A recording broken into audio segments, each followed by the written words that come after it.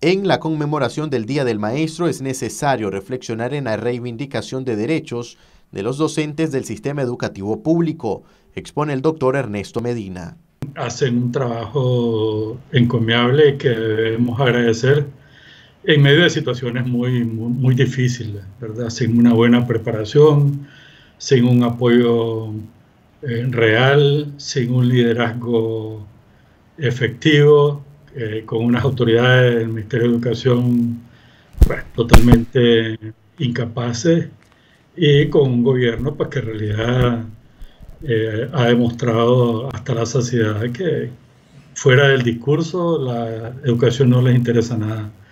Por otro lado, yo creo que efectivamente pues hoy no hay nada que celebrar fuera pues del, del reconocimiento a los maestros por, por su labor yo creo que no hay nada que celebrar. La educación de Nicaragua sigue siendo de las más deficientes del, continente.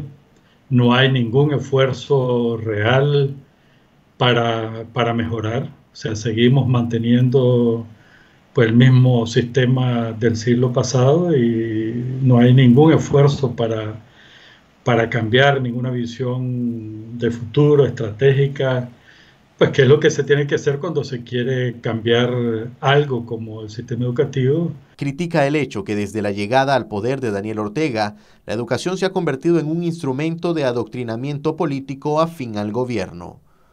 El servilismo, como dije antes, y pues algunos llegando, sobre todo los que tienen cargos de dirección, directores de escuela, delegados departamentales, etcétera, pero es que son lejos de ser eh, maestros, educadores, son inspectores políticos de la peor calaña. O sea, cada vez que yo veo a un director de escuela arengando a los niños con, consignas políticas, lo que me viene son imágenes del tiempo del, del estalinismo maduro, de la revolución cultural china, o sea, las épocas más vergonzosas de la historia de la humanidad en cuanto a servilismo e instrumentalización pues, de, instancias como la educativa que deberían de servir para el desarrollo de la conciencia crítica y para el desarrollo integral de la sociedad, aquí las han convertido en mecanismos de, de manipulación y de indoctrinamiento